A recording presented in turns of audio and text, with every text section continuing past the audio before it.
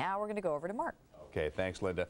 Well, these are stressful times. All you have to do is watch the news for a couple of minutes to know that. One of the biggest responsibilities, though, that we have as parents is to try to see that that our kids, well, they, they need to learn how to deal with this stuff, but we don't want to traumatize them by it.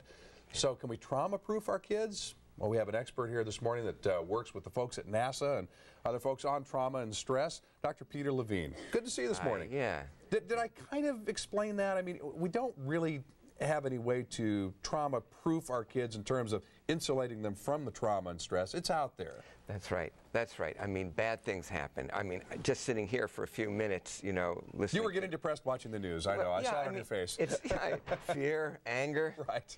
You know, but the thing is, um, kids especially don't have an ability to calm themselves. And so it's the, the, they need their parents to help them do that. So you put together a nice guide for them called Trauma Proofing Your Kids, a parent's guide for instilling confidence, joy, and resilience. Yes. Oh, if we could give that gift to our children, I think our, our work as parents would be uh, just about be done, wouldn't it? Yeah, I mean, what more could a parent want to instill in their kids? And the, the, the strategy is that bad things happen. I mean, there's not a day that goes by that there's not something that's that, that's that's that, that's upsetting. Sure. The, but the question is whether we get stuck with it or we can or whether we move through it. I was just thinking a moment ago about the pilot that landed his plane in the Hudson River.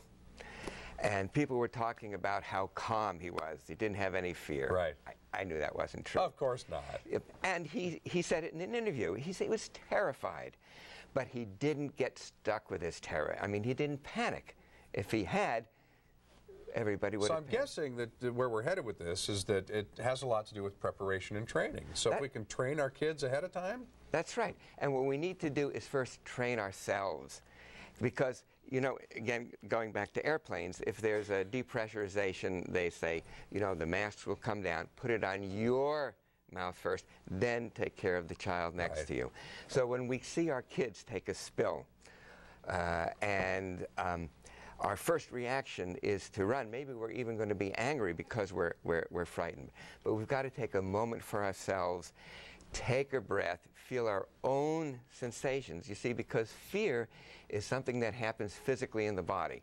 It's the knot in the gut or the, the pounding heart. there is a physical reaction that's taking place. So you, you tell kids to get in touch with that?